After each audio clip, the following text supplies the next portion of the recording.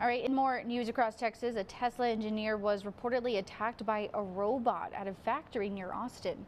A 2021 injury report claims the robot, which was designed to move car parts, dug its metal claws into the engineer's back and arm, leaving a quote trail of blood.